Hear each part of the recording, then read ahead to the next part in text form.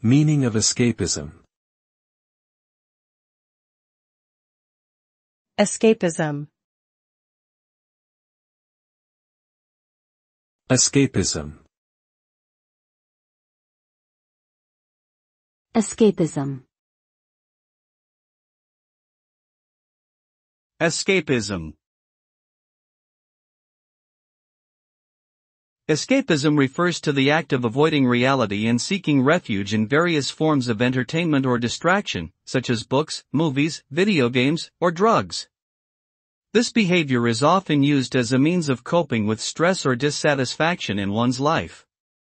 While escapism can provide temporary relief from problems, it ultimately creates a cycle of avoidance that can lead to further negative consequences, including social isolation, addiction, and a lack of personal growth. It is important to find healthy ways to confront and address life's challenges rather than relying on escapism as a crutch.